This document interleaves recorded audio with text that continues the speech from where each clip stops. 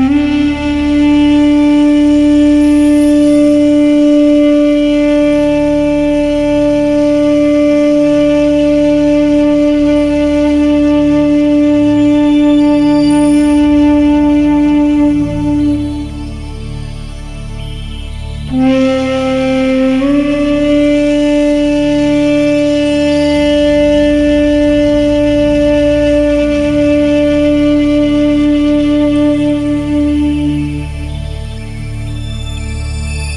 بسم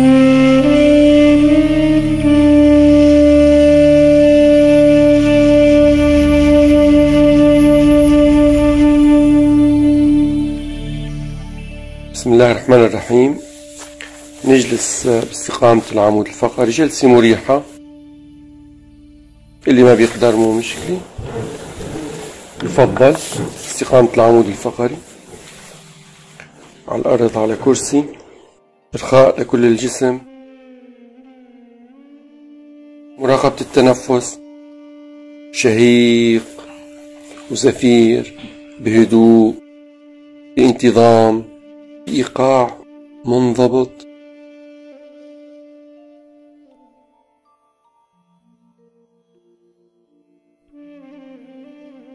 شهيق أربع عدات. حبس الهواء أربع عدات زفير. أربع عدات بدون هواء أربع عدات من جديد شهيق. حبس النفس. زفير. بدون هواء بعدين شهيق.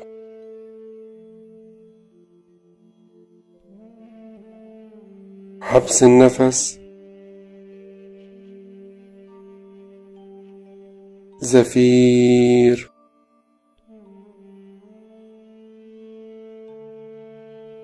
بدون هواء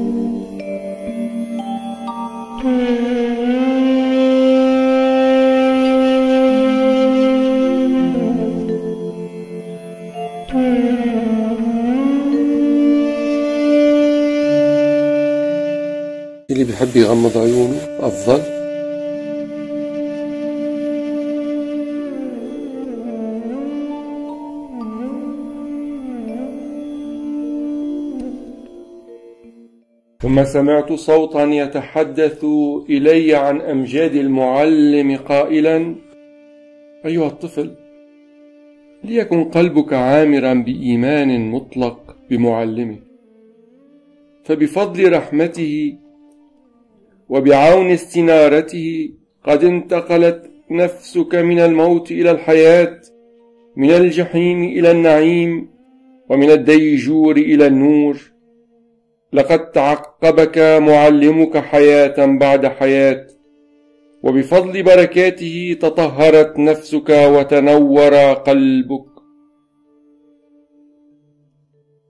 إن علوم المعلم ومعارفه تتحدر على التلميذ شاريب سخية وشلالات متدفقة لا تقل ولا تضمحل. ولا يقوى أحد ولا يقدر شيء أن يمنعها أو يطمر نبعها. إن محبته لك ليس لها حدود كالفضاء المترامي الأطراف. سيبقى معك بجانبك كل لحظة من حياتك وما بعدها.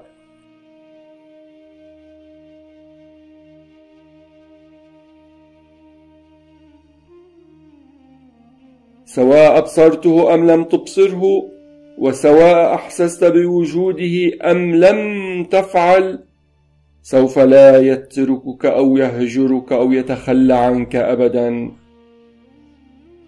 ومحبته هي البرهان على وعيه الإلهي. حتى لعنته هي بركة متحجبة.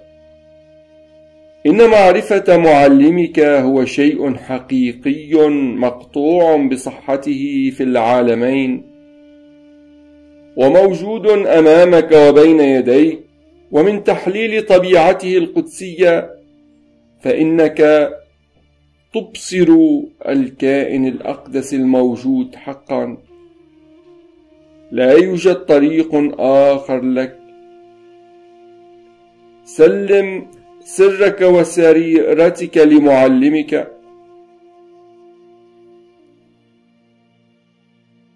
وثق به ثقة عمياء. وعمل على كسب مرضاته. وفكر به كل لحظة من لحظات حياتك. وأحببه أكثر من أعز إنسان أو شيء لديك.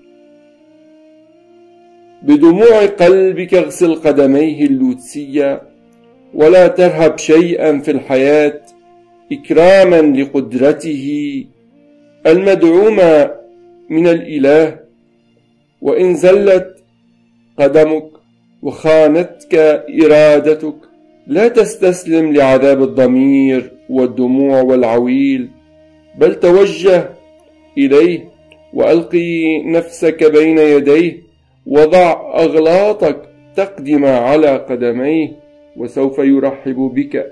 ولسان حاله يقول لك قريبا دعوت وسيجبر خاطرك ويغسلك من الأوحال الوهمية وسيملأك من البركات والخيرات إكراما لإيمانك به ومحبتك له.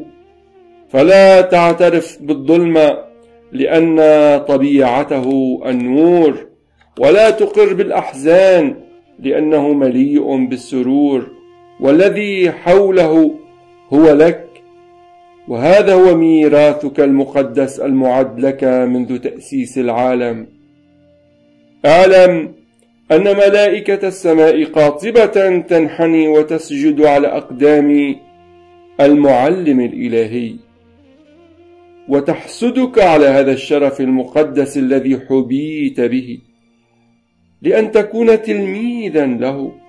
إن الأكوان تعج بالمجرات الجبارة والسدم والنيازك والسيارات المفرطة سرعة وحجما وقوة وعظائم سماوية لا تحدها المدركات البشرية وقوى مطلقة لا متناهية. وما هذه كلها يا بني سوى نقطة بسيطة من محيط معلمك اللامتناهي إن المعلم أكبر من شخصية ومن خلاله تشرق مظاهر الكائن الأسمى منبع الجود وعنصر الوجود. ولكن اعلم أيضا أن شيفا الحكيم المتأله الجبار ما هو إلا مظهر من مظاهر المعلم العظيم تأمل على المعلم بأنه سيد الوعي الإلهي وفيه معرفة الكائن الأسمى بل وفي لحظة المعرفة المقدسة ستمتزج نفسك بروح معلمك وتصبح واحدا معها. أمامك يقف واحد. الوعي الإلهي يتجسد بواسطة معرفة النفس والمعلم قد عرف نفسه لمعرفة ذاته الحقة فأية علاقة إذا تربطك بعد اليوم بملائكة السماء والآراء اللاهوتية العقلية ما دام معلمك هو الكل في الكل حيثما ذهبت سيتبعك وحيثما توجهت سيتبع خطاك ويتعقبك محبة لنفسك وتعلقا بك لأنه بسبب محبته وعونه للجنس البشري قد هجر النيرفانا وبهذا المظهر هو بوذا وحيث أدرك طبيعته أصبح كيانه أكثر وحيث أدرك طبيعته أصبح كيانه أكثر حقيقة وأكثر قوة. وحيث تأسس في وعي البرهمان فقد تأيد بحياة تفوق الحياة البشرية ومعرفتها تجهلها ملائكة السماء. إن الملائكة نفسها وكائنات السماء تحسد وتقدر ذلك الذي توصل إلى حالة البرهمان المعرفة الإلهية الحقة فمن خلال تقديرك لمعلمك والتفكير بمعارفه باستمرار وخدمة رسالته سوف تتوحد معه إلى أبد الآبدين.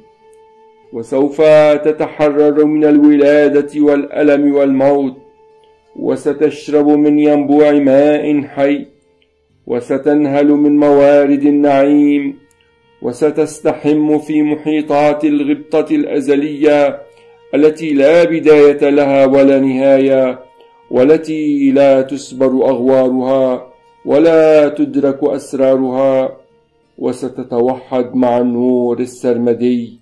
المالئ الأكوان. وستعتلي على حديقة الظلمة وتسود على الزمان والمكان.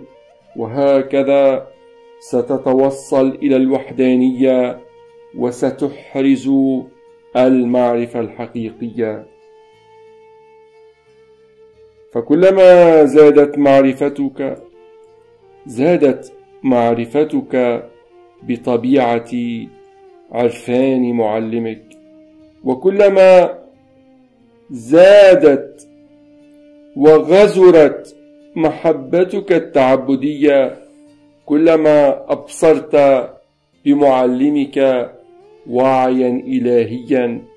ومن خلال اتساع الوعي اللامتناهي يدرك الإنسان حقيقة الإيثار الأسمى. هناك المعلم والإله ونفسك والأكوان قاطبة تصبح واحدة. هذه هي الغاية. أبصر المعلم بالبصيرة اللامتناهيه هذه هي أسمى حكمة.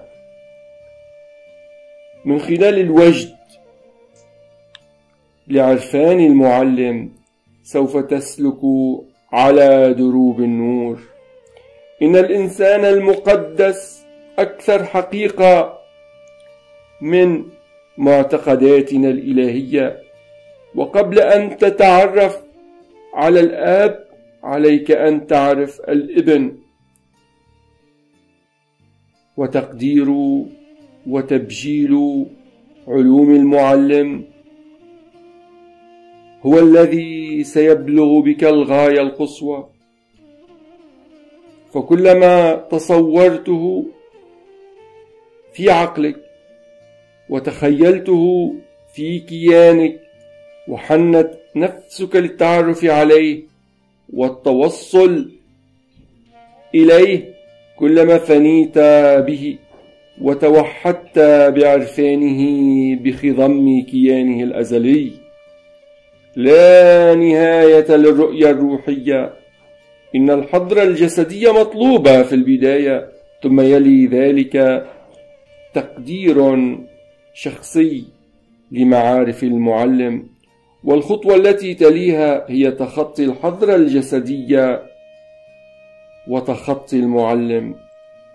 لأن المعلم يعلم بأن الجسد ليس الروح وكالطفل يجب أن يتعلم التلميذ فمن الجسد إلى إدراك أفكار ومعارف المعلم. من الإنسان إلى الكيان من المظهر إلى الجوهر الفتان. إن العقل يقف عاجزا عن إدراك هذه الحقائق وتلك المظاهر المتعددة.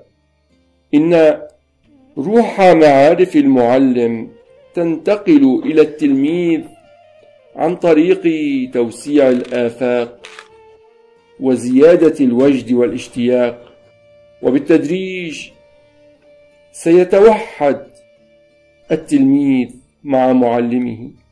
ولا زالت آفاق وعي المعلم تترفع وتتوسع بكيفية لولبية لا بداية لها ولا انتهاء.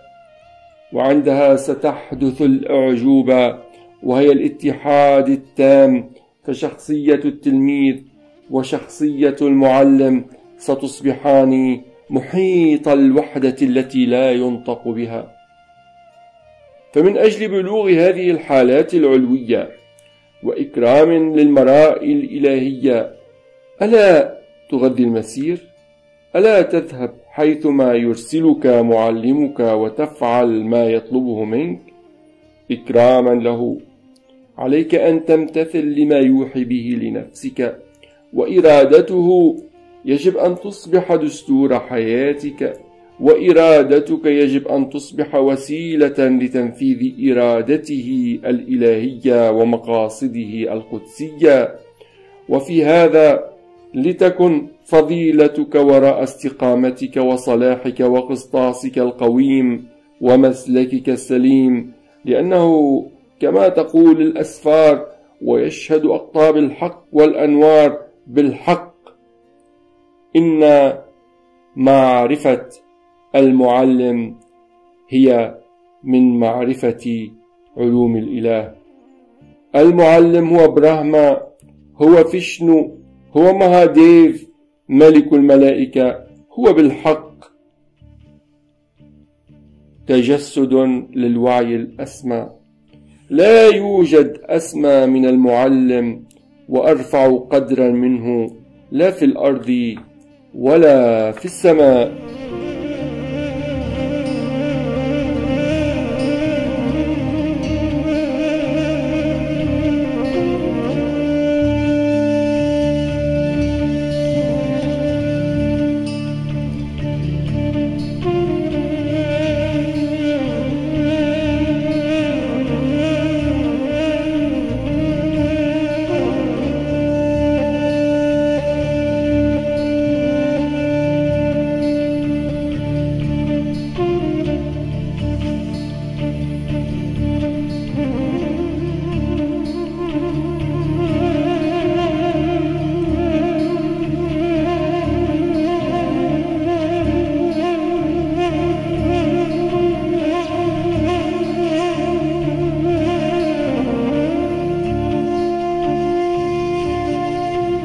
ناخد شهيق.